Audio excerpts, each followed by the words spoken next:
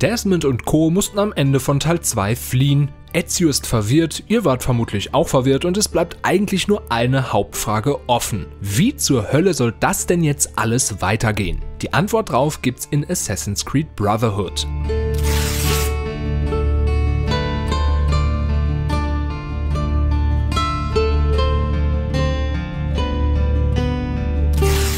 Nach dem dramatischen Finale im letzten Ableger müssen Desmond Miles und seine tollkühne Crew einen neuen Unterschlupf finden. Lucy ist sich zudem sicher, dass eine gigantische Sonneneruption die bevorstehende Katastrophe sein wird. Und um die zu verhindern, brauchen die Assassinen unbedingt die Hilfe der ersten Zivilisation, die Vorfahre Ezio in Rom damals gesehen hat.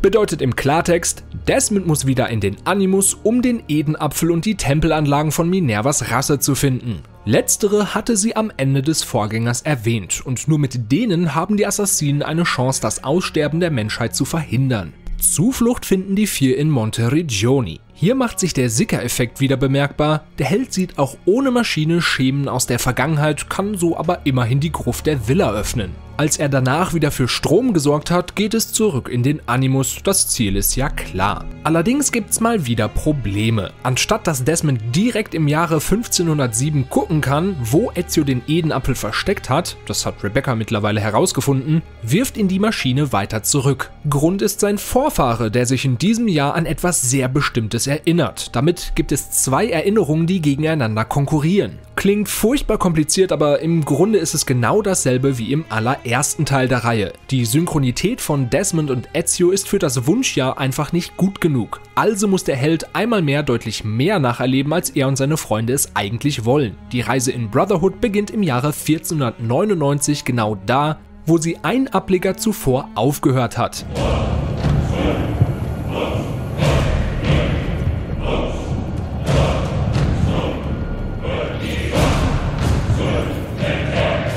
Der italienische Assassine ist nach dem Gespräch mit Minerva extrem verwirrt und muss danach feststellen, dass sowohl Rodrigo Borgia als auch der Edenstab des Papstes verschwunden sind, beziehungsweise gerade verschwinden. Zusammen mit Onkel Mario kämpft er sich aus dem Vatikan heraus und vertraut dem Mann den Edenapfel an. Er selbst weiß einfach nicht, wie er das Artefakt sicher verwahren soll. Danach geht es zurück nach Monteregioni, wo der Held sich erst einmal fachgerecht entspannt. Doch die Ruhe ist trügerisch. Rodrigos Sohn Cesare Borgia steht mit einem Heer vor der Tür und legt die halbe Stadt in Schutt und Asche. Er stiehlt den Edenapfel von Mario, erschießt diesen dann und auch Ezio wird von einer Kugel schwer verwundet. Damit ist der toskanische Assassinorden erst einmal vernichtet. Der Held hilft dem Rest seiner Familie durch die Katakomben zu entkommen, folgt danach dem Mörder seines Onkels Richtung Rom und fällt dabei ohnmächtig vom Pferd. Er erwacht in einem kleinen Haus, in dem eine Frau sich um seine Wunden gekümmert hat und ihm sofort eine neue Garderobe bereitstellt.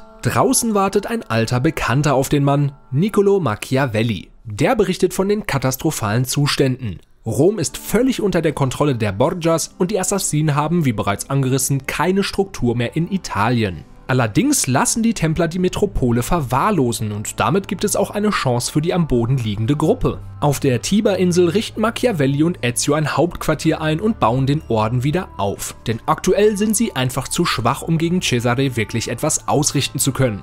Der Held sichert sich die Gunst der Kurtisanen, die seine Schwester Claudia danach übernimmt, und die der Söldner- und Diebesgilde. Auch die werden von zwei alten Freunden geleitet, Bartolomeo und La Volpe. Letzterer ist aber nicht sofort dabei, denn er vermutet, dass Machiavelli zum Verräter geworden ist. Tatsächlich erwischen der Dieb und Ezio den Freund bei einem sehr verdächtigen Treffen. Allerdings gibt es nur Indizien, weswegen der Verdacht erst einmal ruhen gelassen werden soll. La Volpe stellt trotzdem hinter dem Rücken des Helden weiter Nachforschungen an. Mit den drei Gruppen vereint infiltriert Ezio die Engelsburg, denn wie es der Zufall so will, sind sowohl Rodrigo als auch seine beiden Kinder Cesare und Lucrezia Borgia dort, die sich für Geschwister, sagen wir mal, ein wenig zu gut verstehen. Soon, once I have secured the throne of Italia, you are going to be my queen. Ezio schafft es in die Burg, allerdings erreicht er seine Ziele nicht mehr rechtzeitig. Immerhin kann er seine Liebschaft Caterina Sforza aus dem Gefängnis retten und hat fortan eine Verbündete in Forli. Nach dem misslungenen Attentat beschließt Ezio nicht nur die Gilden, sondern auch die Bürger Roms für sich zu gewinnen und das Fundament von Cesares Macht nach und nach zu zerstören. Er rekrutiert rebellierende Bewohner, gliedert sie in den Orden ein und bildet sie zu fähigen Assassinen aus. Danach greift er das an, was die Basis jedes mächtigen Mannes ist, seine Geldbörse. Cesares Hauptgeldgeber ist der Bankier Juan Borgia, den der Held auf einer Orgie heimlich erledigt.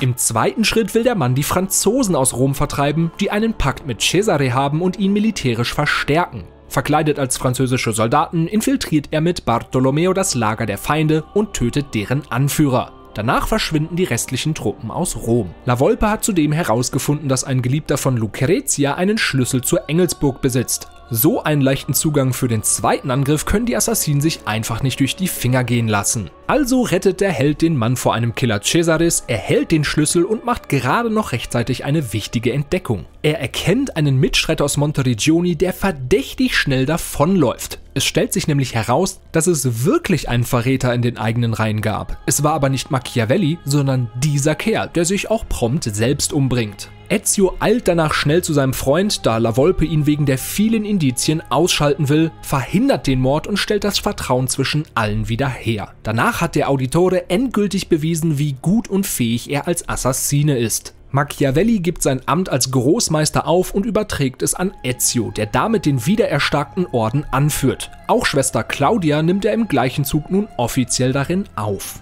Now we must put Ezio where he belongs. At the head of the assassins. Ezio Auditore da Firenze. You will now be known as Il Mentore, the guardian of our order and our secrets. Als die Gruppe erfährt, dass die Borgias zurückgekehrt sind, leiten sie die letzte Offensive ein. Mit dem Schlüssel gelangt der Held in die Engelsburg und sieht, wie Cesare seinen eigenen Vater und damit den Papst höchstpersönlich umbringt. Denn der wollte seinem Sohn einfach nicht verraten, wo der geklaute Edensplitter versteckt liegt. Dank Lucretia wissen es aber sowohl Cesare als auch Ezio schnell. Der Apfel liegt im Petersdom versteckt, der Held gewinnt den Wettlauf dorthin und vertreibt mit der Macht des Artefakts sowohl den Borgia als auch alle anwesende Wachen. Der Feind hat jeglichen Rückhalt in Rom verloren, schafft es aber noch zu fliehen. Zwar fängt ihn ein Assassine im Namen des Vatikans wieder ein, allerdings entkommt er seinen Ketten erneut und setzt sich nach Spanien ab. Hier spürt ihn Ezio 1506 auf und erledigt ihn in einem letzten Gefecht. Danach bleibt nur noch eins, den Edenapfel sicher zu verstecken. In einer Gruft der ersten Zivilisation unter dem Kolosseum in Rom lässt er das Artefakt im darauffolgenden Jahr zurück und einmal mehr endet seine Geschichte, zumindest bis zu seinem persönlichen Finale in Revelations.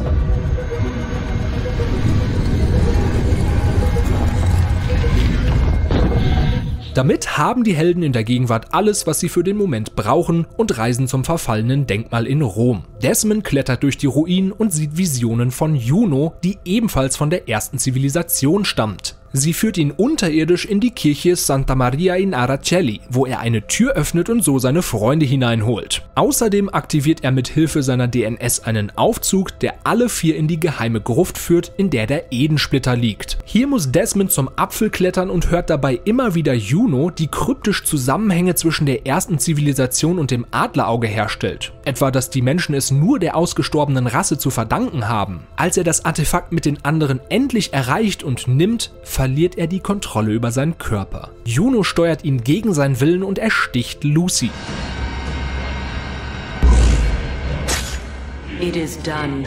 Beide sacken zu Boden und es wird schwarz. Aus dem Off hört man nur noch Desmonds Vater William reden, der den Helden in den Animus legen und ihm so das Leben retten will.